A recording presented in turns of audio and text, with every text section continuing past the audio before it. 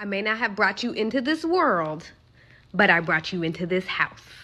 And you are going to let me love you.